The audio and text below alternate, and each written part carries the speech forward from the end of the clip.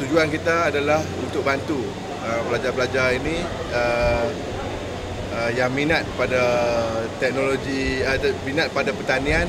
yang kita infuskan dengan satu uh, uh, teknologi yang dapat uh, memberi latihan pada mereka uh, boleh bercucuk tanam yang mempunyai uh, pulangan nilaian yang lebih tinggi. Jadi hari ini 13 sekolah dengan 130 uh, orang pelajar kita harap mereka ni akan jadi satu ejen perubahan di kawasan ini sebab